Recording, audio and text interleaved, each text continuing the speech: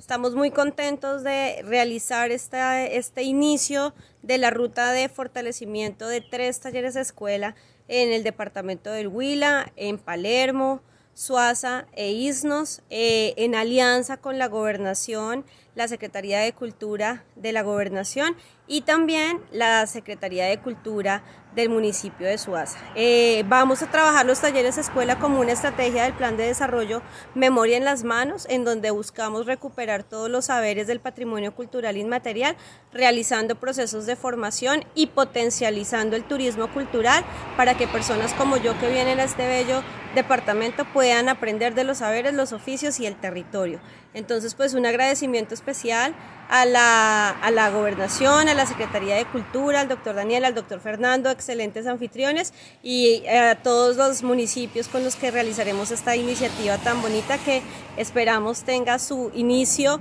y su apertura en el mes de, de junio de este año. Muchas gracias.